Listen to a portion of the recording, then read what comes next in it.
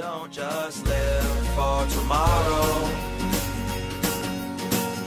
Or just live yesterday. Just be glad for all you have that's in today. And though you've come through many obstacles. Hey everyone, Connie here, and welcome to my blind reaction, uh, first impressions reaction to episode one of Agent Carter. So, this is the spin off series of Captain America starring Peggy Carter. Um, and that's pretty much all I know about it. It takes place after the events of Captain America, the first Avenger. And it's just all about Peggy. Um, I don't know what to expect from the tone of it. I don't know if it's going to have like the feel of like the more modern um, MCU Disney Plus shows or not. I don't know what it's going to be like at all. So I'm willing to give it a shot though because I do like Peggy as a character, both from the movie and especially from the um, What If series, although it's technically an alternate version and everything, um, Captain Carter, but still. I'm definitely interested to see what this is like for a lot of reasons.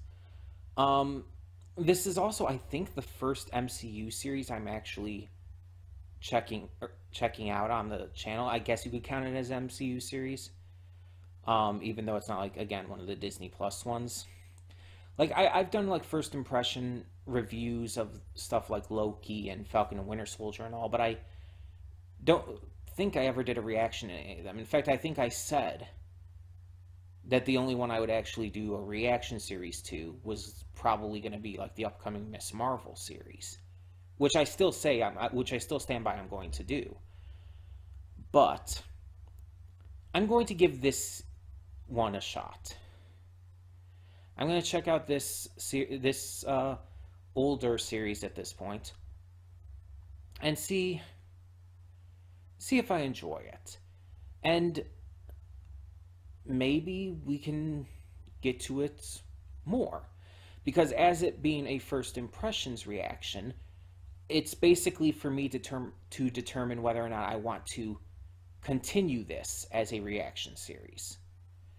Um, if I end up liking it enough, we possibly will. We'll continue it as a full series and come back to it in the future. Um, otherwise, maybe I'll just only like it enough to watch it on my own time. Or maybe I just won't like it at all. It's possible. Um, but yeah, so I'm not 100% sure what to expect from this. But I do like the MCU. For the most part. so hopefully I like this. Um, it's not like it's a Guardians of the Galaxy or Thor Ragnarok related thing. So it's like, it, it's likely I'm not going to hate it. but we'll see. And yes, I know that probably, that possibly got me some dislikes there just for hating on Thor Ragnarok and Guardians of the Galaxy. I mean, I'll spe- I speak my truth though. But either way, um, we're going to check this out and hopefully really end up enjoying it. I also don't know how many episodes this is, and based off of this first one, um, they are double length episodes, like about 40 minutes each. So it's like, I, I, I don't know exactly how long this series is, so we'll just kind of, we're to play it by ear. Um, but we'll see. We'll see. Um, for the time being, let's just get this going. let's just check it out and see what it has in store. So when the screen fades to black, pause this redirect and go to the description below. Follow the link to the reaction, and after you watch it, come back here to the redirect and resume play. Because after it fades black and then fades back in, everything from that point forward will be my afterthoughts and will contain spoilers to the episode. So, that being said, thank you so much for tuning in, and I will see you at the reaction. And we are back and we'll begin with spoilers in three, two, one, now. So, there are certain characters in the MCU that seem to be either mixed or even in some cases get some negative reception due to in some of these critics and people's eyes being too pushy on an agenda or whatnot. And yet, whenever I've heard people talk about this series, it's always positive. And yet, this series, like this series, predates stuff like Captain Marvel and whatnot. But when you really think about it, it's the it's the same kind of deal. Obviously, not story wise or anything necessarily, but in in terms of it being a series starring and focused on a, a badass, strong-willed, and determined female character with a very feminist ideology to it. Like, this is what this is a big thing that people complained about Captain Marvel for that it was trying to push that too hard, and yet this series is doing the same thing, and like arguably just as much, if not more, just based on this first episode. Like, it's super obvious this is going to be a recurring thing throughout this series. And it just, it, it astounds me that this is something that, despite this series being so praised and everything, this is something that people have complained about with the different movies and stuff doing the same thing. And it's like, that's just weird to me. But so yeah, this this takes place directly after, well, not directly necessarily, but basically right after the events of the first Avenger. Um, Steve's plane went down. He got frozen in ice. Yada yada. We know the drill. And Peggy is just kind of dealing with it while continuing to do the best she can, but not really being given a lot of jobs or things to do because, you know, the time period and lots of sexism. But after Howard Stark is accused of being a traitor due to basically going missing during a trial, well, during the course of a trial, she ends up finding and working with him in order to not only clear his name, but stop potentially like devastative threats, like really badly devastative, as we see in the episode. It's a simple premise, a simple idea for this. Um, it's very much in line with um, with the MCU. The presentation is a little slow in this episode, I, I admit. There's some parts of this where I'm just kind of like, waiting for it to get to the good stuff. But it eventually does hit its stride. And when it does, it really hits its stride. Like we like for example, some some very huge positives in this episode and some things that really like felt impactful to the episode and, and will probably kind of carry over with the rest of the series this the, the girl, the roommate, Peggy's roommate, was exceptionally likable. She was so likable, so nice and sweet, and clearly wanted Peggy to just be able to enjoy life again. and she gets killed. We don't even see her on screen a lot, only a couple small scenes. And then the bad guys kill her. And after you see Peggy beat their asses and everything and just be a total badass, she breaks down. And it the scene felt so real. Like in the heat of the moment, seeing what happened to her friend, she of course went after those people who did it, who were still there. But after the fact, when she was alone again, when when they were gone, she let that facade drop. And it shows that even though Peggy is strong and powerful and smart and capable, she's still a person. She still has emotions. She still feels. And so soon after losing Steve, having this girl who she'd only known for a few months, but had grown very close to, ha- having her die as well is just, it destroyed her. It absolutely emotionally destroyed her in that moment. And again, seeing her break down worked really well. And of course, you know, amazing actress who helps sell it really well. Um, another huge positive to this episode Jarvis.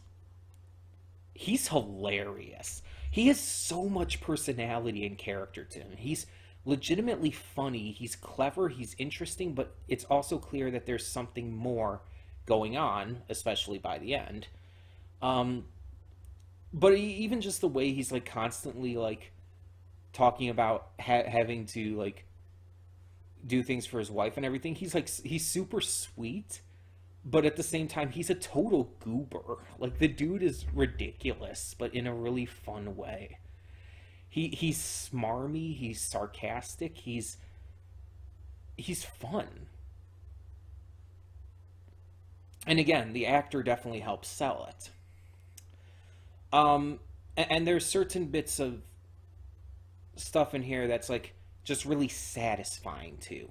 That moment near the end, pretty at pretty much the end of the episode, where Peggy deals with that sexist pig, who was uh, who, legitimately sexually assaulted that waitress, um, who is a friend and everything. It's like that, like certain things make my blood boil. And sexual assaults, especially based in, in sexism, really makes my blood boil. And it's like, obviously, you've seen the entire thing, like, done in various movies and shows and everything where like the guy slaps the waitress on the ass and everything and it's like that that's been done in other things and it's like every time i see it it's just it's one of those things that very specifically enrages me like almost nothing else can. Sexual assault in general enrages me, as it should, as it should anyone, um, especially as someone who's experienced it. But when it's done in that kind of manner, and clearly in a way that looks down on women and sees them as basically meat. It's just, and especially, specifically the act of slapping a girl's ass like that. It's just.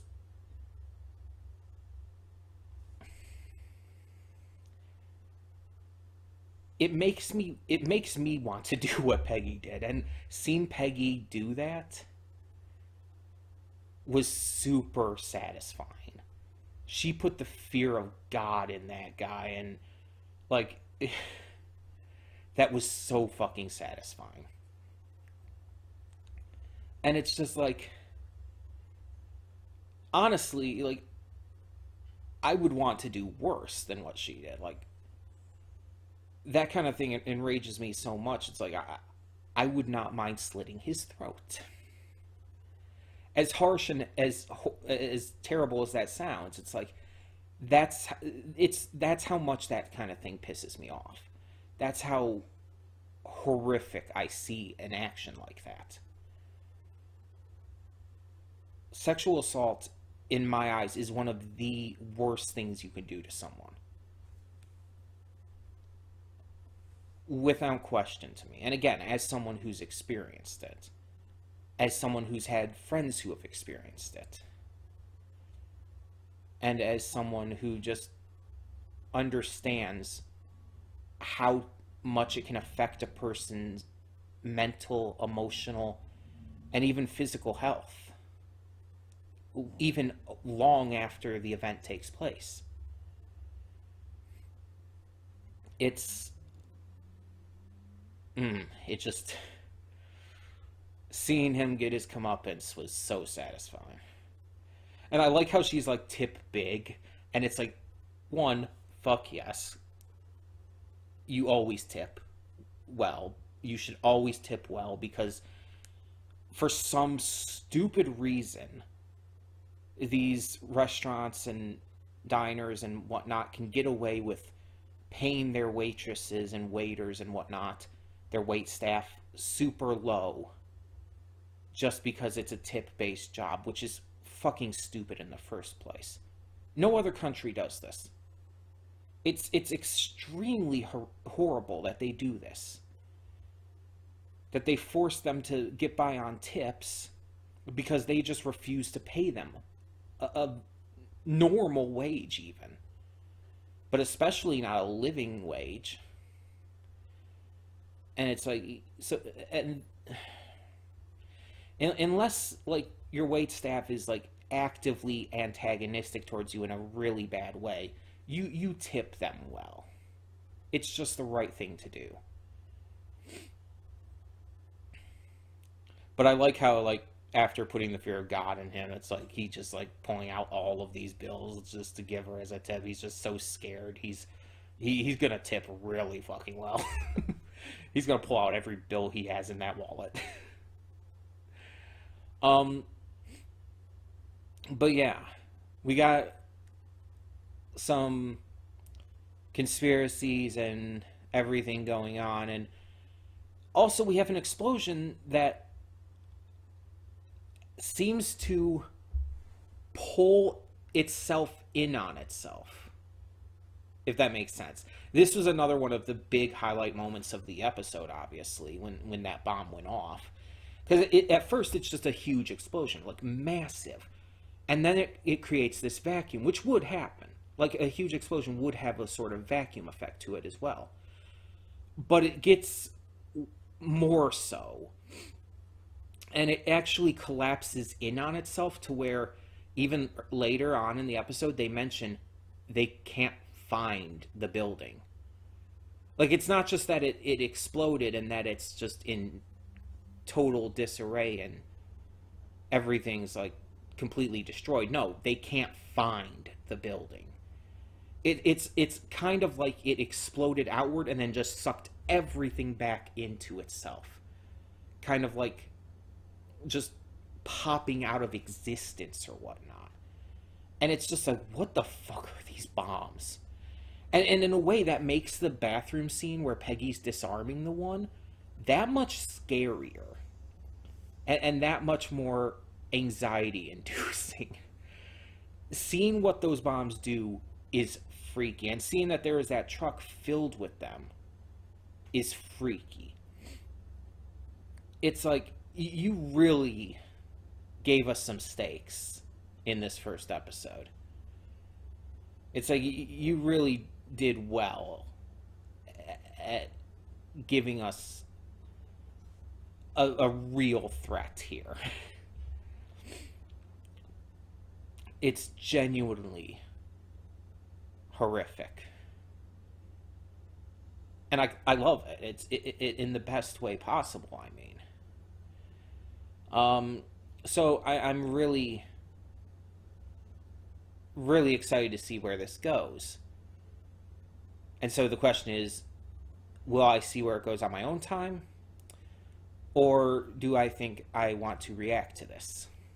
Oh, continue reacting to it. Yeah, it's definitely the latter.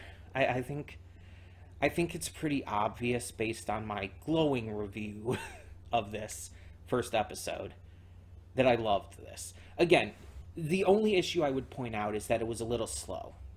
It, it, it took a bit to get started. It, it, it had to build up to things. But once it did hit its stride again, it really hit its stride. It really went off. And it did so in just the best way it could. And and I appreciate that. I I genuinely appreciate that they didn't hold back. And yeah, we're just going to kind of have to see where it goes from here. So this will be added to the schedule, and at some point in the future, we'll continue reacting to it. Um, so yeah, I'm excited. I, I'm ex- I'm genuinely excited to see where this series goes and to see more of Peggy being a badass feminist, uh, honestly, hero. Let's be honest. Like Peggy Carter is a hero. That's that's always going to be the case. She may not be super, but she's still a hero. um, so tell me in the comments below what did you think of this first episode of Agent Carter, and thank you so much for tuning in. For now, I'm Connie and I'm signing off. See y'all next time.